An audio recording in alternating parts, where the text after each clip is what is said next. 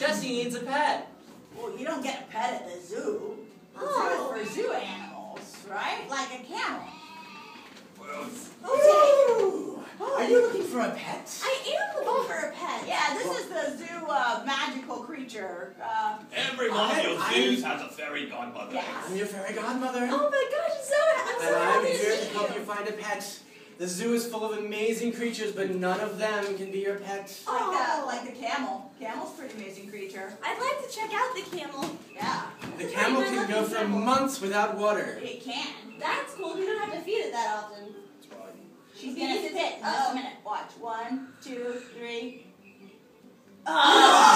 oh! Gross. That was Gross. amazing. We named this camel Lucille.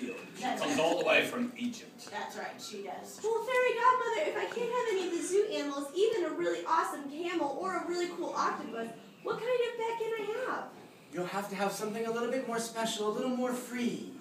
Perhaps something that runs in a field. Oh, something that runs in a field. That's good. Nothing like that Nothing here, behind though. bars. Yeah, we run at the, at the bottom of the ocean.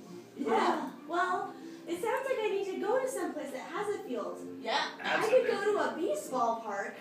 that's a A field. field, that's a field. There's a field. field, a baseball Yeah. I think I'm gonna go to a baseball field and see if I can find any animals there. All right, have hmm. fun. Good visiting with you. And good visiting with you, nameless, previously nameless son. Yeah, that's right. I like Yes, Jess. it's Jess now. Jess is Okay. Right, good. Why did you Jess think of now. that And before I go, I think I'll free this octopus. You're What? free! No!